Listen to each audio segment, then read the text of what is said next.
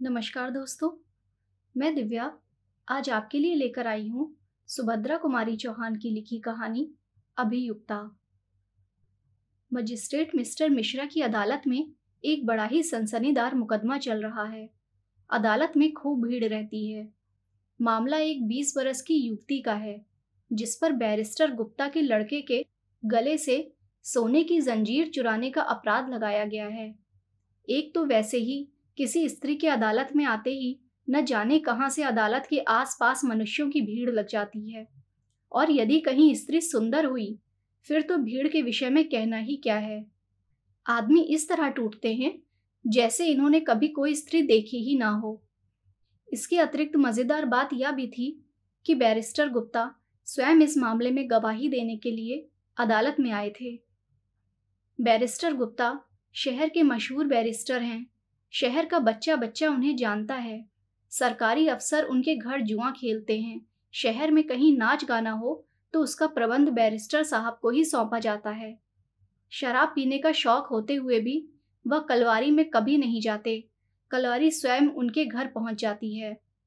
सरकार दरबार में उनका बहुत मान है और पब्लिक में भी, क्योंकि सरकारी अफसरों से किसका काम नहीं पड़ता। बैरिस्टर साहब हैं भी बड़े मिलनसार। पब्लिक का काम बड़ी दिलचस्पी से करते हैं। इस प्रकार के कामों में वह बहुत व्यस्त रहते हैं और दूसरे कामों के लिए उन्हें फुर्सत ही नहीं रहती। मुकदमा शुरू हुआ। अभियुक्ता की ओर से कोई वकील न था। वह गरीब और असहाय थी। सरकार की ओर से तीन सौ रुपये मासिक पाने वाले कोर्ट साहब पैरवी के लिए खड़े थे। बैरिस्टर गुप्ता ने अपने बयान में कहा, मैं अभियुक्ता को एक अरसे से जानता हूँ। यह शहर में भीख मांगा करती थी। करीब एक महीना हुआ। एक दिन मैंने अपने मकान के पास कुछ गुंडों को इसे छेड़ते देखा। मुझे इस पर दया आई। उन गुंडों को भगाकर मैं इसे अपने घर ले आया। और जब मुझे मालूम हुआ कि इसका कोई भी नहीं है, तब खाने और कपड़े पर इसे अपने घर पर बच्चों को संभालने के लिए रख लिया। पंद्रह दिन काम करने के बाद एक दिन रात को यह यकायक गायब हो गई। दूसरे दिन मैंने देखा कि बच्चे के गले की, सोने की जंजीर भी नहीं है। तब मैंने पुलिस में इत्तला दी। बाद में पुलिस ने इसे मैं सोने की चेन की गिरफ़्तार किया और मुझसे चेन की शिनाख्त करवाई। मैंने वैसे ही पाँच चेनों में से अपनी चेन पहचान ली। अदालत की टेबल पर रखी हुई चेन को हाथ में लेकर बैरिस्टर गुप्ता ने कहा, यह चेन मेरी है। मैंने खुद इसे बनवाई थी। बैरिस्टर गुप्ता का बयान खत्म हुआ। मजिस्ट्रेट ने गंभीर स्वर में अभियुक्ता की ओर देखकर पूछा, तुमको बैरिस्टर साहब से कुछ सवाल करना है? अभियुक्ता का चेहरा तमतमा उठा। वह तिरस्कार सूचक स्वर में बोली, जी नहीं, सवाल पूछना तो दूर की बात है, मैं तो इनका मुँह भी नहीं देखना चाहती। अभियुक्ता की इस निर्भीकता से दर्शकों के ऊपर आश्चर्य की लहर सी दौड़ गई। सबकी आँखें उसकी ओर फिर गईं। बैरिस्टर गुप्ता की ओर भी लोगों का ध्यान विशेष रूप से आकर्षित हुआ। उनके मुँह से एक प्रकार की दबी हुई अस्पष्ट मरमर ध्वनि से निकल पड़ी। मुकदमे में और भी रंग आ गया। अब तो लोग अधिक ध्यान से मुकदमे की कार्रवाई को सुनने लगे। बैरिस्टर गुप्ता की बातों का समर्थन पुलिस के दूसरे गवाहों ने भी किया। एक सर्राफ ने आकर कहा, मेरी दुकान से सोना लेकर बैरिस्टर साहब ने मेरे सामने ही यह चेन सुनार को बनने के लिए दी थी। एक सुनार ने आकर बयान दिया यह चेन बैरिस्टर साहब के लिए मैंने ही अपने हाथ से बनाकर उन्हें दी थी। तफ्तीश करने वाले थानेदार ने बतलाया कि किस प्रकार उन्होंने अभियुक्ता का पता लगाया और किस तरह चेन मांगते ही उसने यह चेन अपनी कमर से निकाल कर दे दी। थानेदार ने यह भी कहा कि अभियुक्ता इस चेन को अपनी माँ की दी हुई बतलाती है, जिससे साफ़ मालूम होता है कि अभियुक्ता बहुत चालाक है। सरकारी गवाहों के बयान हो जाने के बाद अभियुक्ता से मजिस्ट्रेट ने पूछना शुरू किया। तुम्हारा नाम चुन्नी। पति का नाम मैं कुमारी हूँ। अच्छा तो पिता का नाम? मैं नहीं जानती। मैं जब बहुत छोटी थी, तब या तो मेरे पिता मर गए थे या कहीं चले गए थे। मैंने उन्हें देखा ही नहीं। मेरी माँ ने मुझे कभी उनका नाम भी नहीं बतलाया। और अब तो कुछ दिन हुए, मेरी माँ का भी देहांत हो गया। कहते कहते अभियुक्ता की आँखें डबडबा आईं। दोनों हाथों से अपना मुँह ढककर वह सिसकियाँ लेने लगी। दर्शकों ने सहानुभूतिपूर्वक अभियुक्ता की ओर देखा, किंतु कोर्ट इंस्पेक्टर ने कड़े स्वर में कहा, यह नाटक यहाँ मत करो, जो कुछ साहब पूछते हैं, उसका जवाब दो। अभियुक्ता ने अपने को संभाला और आँखें पोंछकर मजिस्ट्रेट की ओर देखने लगी। मजिस्ट्रेट ने फिर पूछा, तुम्हारा पेशा क्या है? मैं मजदूरी करती हूँ, और जब काम नहीं मिलता, तब भीख मांगती हूँ। अभियुक्ता ने कहा। मजिस्ट्रेट ने प्रश्न किया, रहती कहाँ हो? जहाँ जगह मिल जाती है। तुमने बैरिस्टर गुप्ता के घर नौकरी की थी? जी हाँ। यह चेन तुमने उनके बच्चे के गले से चुराई? चेन को हाथ में लेकर मजिस्ट्रेट ने पूछा।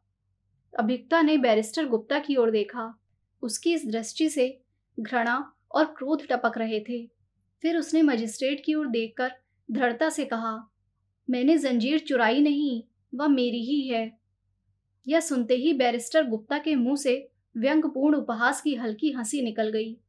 इस व्यंग से, अभियुक्ता का चेहरा शोभ से और भी लाल हो उठा। उसने विषिप्त क्रोध के स्वर में कहा, मैं फिर कहती हूँ कि जंजीर मेरी है। मेरी माँ ने मरते समय यह मुझे दी थी और कहा था कि यह तेरे पिता की यादगार है, इसे संभाल के रखना। मजिस्ट्रेट ने पूछा, तुम बैरिस्टर साहब के घर से रात को भाग गई थी? कुछ क्षण के लिए अभियुक्ता चुप सी हो गई। आहा तपमान उसके चेहरे पर तड़प उठा। फिर कुछ सोचकर वह गंभीर स्वर में बोली, जी हाँ मैं बैरिस्टर साहब के घर से भागी। पहले जब इन्होंने मुझे गुंडों से बचाकर अपने घर में आश्रय दिया था, तब मेरे हृदय में इनके लिए श्रद्धा और कृतज्ञता के भाव थे। परंतु वे धीरे धीरे घृणा और तिरस्कार में बदल गए। मैंने देखा कि बैरिस्टर साहब की खुद की नियत ठिकाने नहीं है। वह मुझे अपनी वासना का शिकार बनाने पर तुले हुए हैं।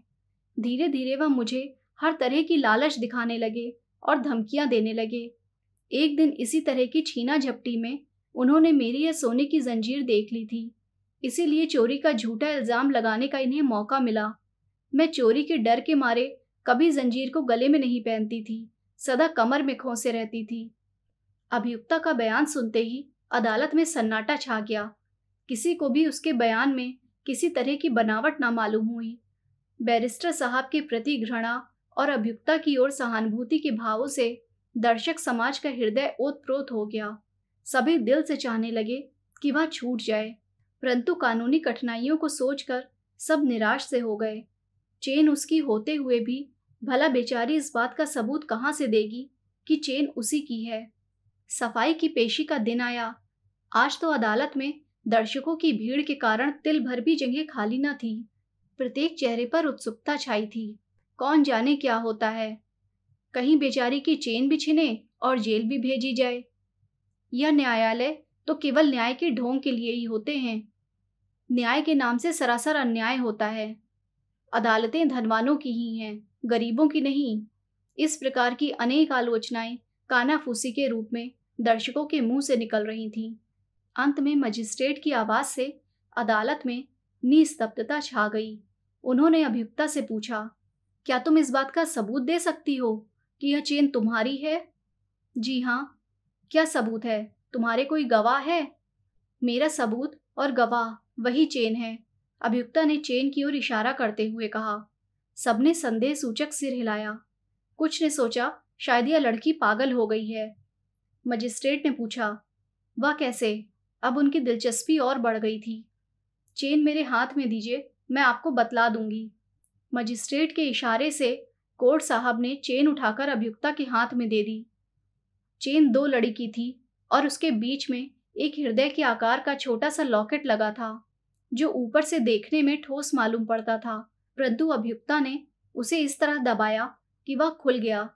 उसे खोलकर उसने मजिस्ट्रेट साहब को दिखलाया, फिर बोली यही मेरा सबूत है, यह मेरे पिता की तस्वीर है।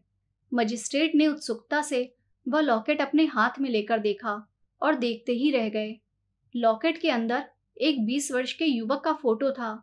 मजिस्ट्रेट ने उसे देखा, उनकी दृष्टि के सामने से अतीत का एक धुंधला सा चित्रपट फिर गया।